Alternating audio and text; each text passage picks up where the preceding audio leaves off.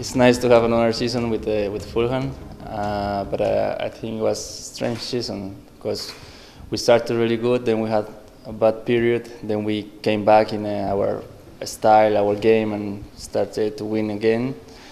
That was good, but at the end, I think we we didn't do as good as we as we wanted. So I have no explanation for that, but I think it was as you say a strange season.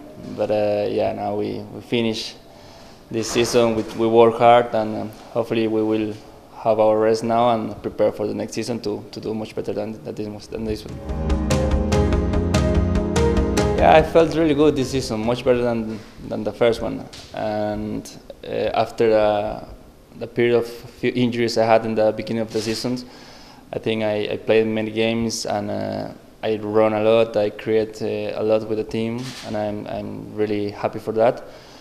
Uh, my goal for next season will be to score more goals. That's something I, I would like to because I, I know I think uh, I, I did good. I felt good. I created a lot, but uh, I know I have to score more. But I'm sure next season will I will do that. I'm really happy playing like this. I think uh, I, I love to play like this, to, to get the ball, to be in the ball, to come sometimes deep in, in the midfield to get the ball there. Uh, the only thing I would change is that I need to, to score more goals. That's the only thing. I know also that supporters want that.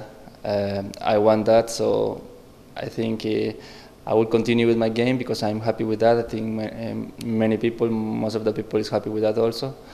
So the only thing is uh, score some more, goals, some more goals. That uh, I'm I'm gonna work with that. I'm gonna be a bit, a bit more selfish maybe next season but uh, still being a, a, team player. That, that's something I, I, am, and I will be always like that. But try to be a bit selfish to score more goals for the team. The best highlight I had is after my last injury in November. After that, I never, well, I didn't get another, another injury, and I felt really good of that. So physically, I feel really good. Of course, I I love uh, to score five goals this season. And uh, well, I hope uh, I will have some more very nice highlights next season. We always want to, to, to, to, be in the first, in the top 10, so it's something we want.